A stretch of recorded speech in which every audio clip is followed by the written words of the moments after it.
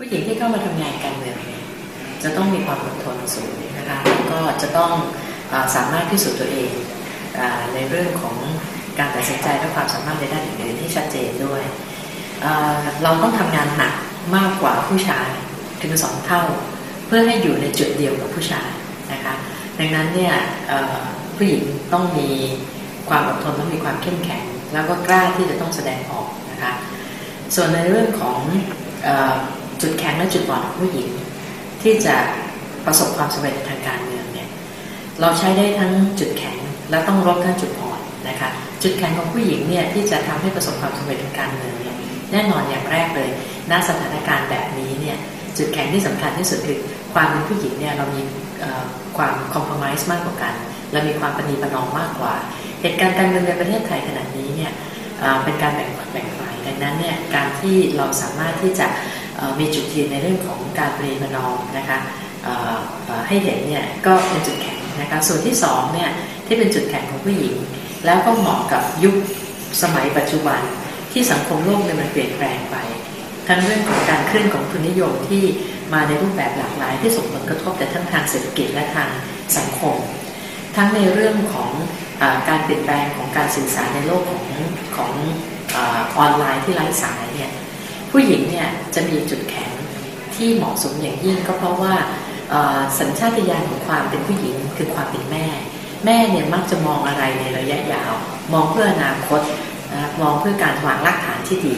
ดังนั้นเนี่ยตรงนี้คือจุดเด่นที่สุดสำหรับผู้หญิงที่จะนำมาใช้กับปัญหาในโลกปัจจุบันนะคะและแน่นอนค่ะปัญหาอ่าจุดเด่นพื้นฐานผู้หญิงในความที่เป็นคนที่มีความอดทน มีความซื่อสัตย์มีความขยัน แล้วก็มีความเอื้ออาทรเนี่ยตรงนี้คือจุดที่จะสามารถผลักดันผู้หญิงเนี่ยก้าวไปสู่ความสำเร็จในทางการเมืองได้ แต่จุดอ่อนมีแน่เราจะต้องก้าวให้พ้นในเรื่องที่เราถูกดูถูกดูแคลนอยู่อย่างสม่ำเสมอก็คือ ผู้หญิงไม่กล้าตัดสินใจการตัดสินใจผู้หญิงไม่ดี ผู้หญิงไม่ลุยผู้หญิงไม่สู้นะคะผู้หญิงขี้ปอดเอ่อเรื่องต่างๆเหล่านี้ก็ต้องพิสูจน์ตัวเองว่าการตัดสินใจเราดี เรามีเหตุผลเราไม่ใช้อารมณ์ เราเป็นผู้ที่ใช้เหตุใช้ผลในการเอ่อทำงานนะคะ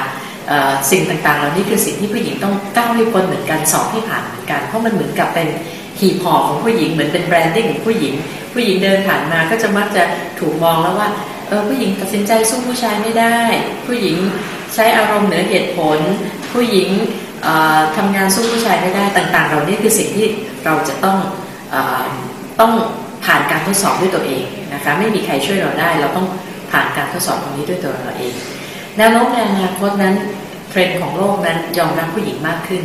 ผู้หญิงในช่วง 10 กว่าปีที่ผ่านมานั้นได้ก้าวสู่ตำแหน่งสำคัญทั้งภาครัฐและภาคเอกชน เป็นผู้นำประเทศก็เยอะเป็นผู้นำองค์กรขนาดใหญ่นั้นในเรื่องของวงการการเงินระหว่างประเทศอย่าง IMF ผู้นำประเทศก็มีผู้หญิงเพิ่มมากขึ้น แล้วก็แม้แต่ประเทศไทยเองก็มีนายกรัฐมนตรีเป็นผู้หญิงเกาหลีเพิ่งมีประธานาธิบดีเป็นผู้หญิงอโอกาสได้เปิดให้ผู้หญิงอยู่แล้วนะคะ ดังนั้นเนี่ยเมื่อโอกาสเปิดเราก็ต้องรีบที่จะพัฒนาตนเองแล้วก็เอ่อพิสูจน์ความสามารถของตนเอง และดิฉันยังยืนยันว่า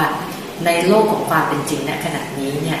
สถานการณ์ที่เปลี่ยนไปทั้งทุนนิยมที่เคลื่อนเข้ามาในรูปแบบที่หลากหลาย ทั้งปัญหาสังคมที่เพิ่มมากขึ้นทั้งการสื่อสารไร้พรมแดนนั้นเนี่ยไม่มีใครเหมาะที่จะทำงานเพื่อส่วนรวมได้เท่ากับผู้หญิงค่ะสำหรับผู้หญิงกับการเมืองในเมืองไทยเนี่ยจะต้องบอกว่าโอกาสขณะนี้เนี่ยโดยส่วนตัวนะคะที่อยู่ทางการเมืองมาตั้งแต่ 2535 เปรียบณวันนี้จนถึงวันวัน 2535 วันนั้นจนถึงวันนี้เนี่ย ต้องบอกว่าโอกาสของผู้หญิงมากขึ้นนะคะ แล้วก็สถานการณ์ต่างๆเนี่ยได้พิสูจน์อย่างแรกเลยก็คือหนึ่งผู้หญิงเนี่ยมีความสามารถมากขึ้นนะคะ แล้วก็ขณะนี้เนี่ยจะเห็นว่าผู้หญิงเข้ามามีบทบาทสำคัญทั้งในแวดวงภาครัฐและภาคเอกชนในตำแหน่งผู้บริหารสูงสุดเนี่ยหลายองค์กร อย่างไทยพาณิชย์ก็มีผู้หญิงเป็นผู้บริหารแบงก์ออมสินแบงก์ทอสก็เพิ่งเพิ่งได้ผู้หญิงมาเป็นผู้บริหารอย่างเงี้ยนะคะ ดังนั้นเนี่ยแล้วผู้หญิงก็ทำได้ดี การที่ผู้หญิงได้ทำได้ดีในช่วงสองศตวรรษเนี่ยทศวรรษเนี่ยนะคะในช่วง 20 ปีที่ผ่านมาเนี่ยมันเป็นตัวหนึ่งที่เป็นตัวตัวกรีทางให้ผู้หญิงเข้ามาสู่ตำแหน่งที่สูง โดยเฉพาะทางการเมืองได้ แล้วก็วันนี้เราก็มีนายกรัฐมนตรีที่เป็นผู้หญิงนะคะก็ต้องถือว่าเป็นเป็นแรงบันดาลใจ แล้วก็เป็นตัวอย่างให้กับผู้หญิง ทยทั่วประเทศนะคะ ดังนั้นเนี่ยโอกาสของผู้หญิงในการเมืองณพศเนี่ยดิฉันว่าถ้าเทียบกับเรื่องสมัยดิฉันเข้ามาเนี่ยมีมากขึ้นเยอะ แล้วก็ผู้หญิงก็มีโอกาสในการพัฒนาศักยภาพตัวเองที่มากขึ้น แล้วก็ได้ผ่านการพิสูจน์ตนเองในจุดต่างๆมากขึ้นนะคะ ดังนั้นโดยสรุปก็คือว่าผู้หญิงที่จะก้าวสู่การเมืองในยุคนี้พศนี้เนี่ยน่าจะมีโอกาสในการทำงานที่ มากกว่าเดิมนะคะ และได้รับการยอมรับที่มากขึ้น แต่ทั้งหลายทั้งปวงก็ขึ้นอยู่กับตัวเราเองว่า เราเองจะต้องพยายามที่จะพิสูจน์ตัวเอง ให้ผ่านบททดสอบต่างๆ ที่ถูกดูถูกดูแคลนไว้